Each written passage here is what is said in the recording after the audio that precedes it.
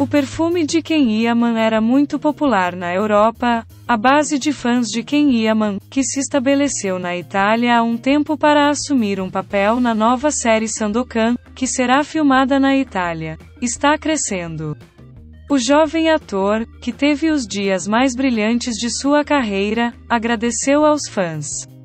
Ken Yaman, cujos fãs trabalham como uma empresa corporativa nas redes sociais, arrastando as massas aonde quer que vá, também realiza novos projetos. Ken Yaman, que mora há algum tempo na Itália para o seriado Sandokan, que será rodado na Itália, chama a atenção por seus projetos de responsabilidade social. Ken Yaman anunciou recentemente que criaria uma marca de perfume com seu próprio nome. Ken Yaman fez sua declaração compartilhando uma pose em sua conta de mídia social, vestindo um terno e segurando um frasco de perfume.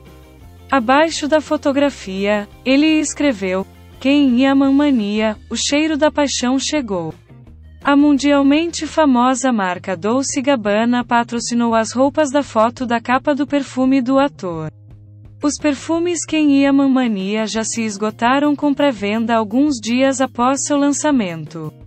O perfume, que é vendido em toda a Europa, só será entregue aos donos a partir do dia 15 de setembro. Diante do grande interesse demonstrado por seu perfume, Ken Yaman emitiu uma mensagem de agradecimento aos fãs. Yaman escreveu em sua mensagem: Agradeço novamente.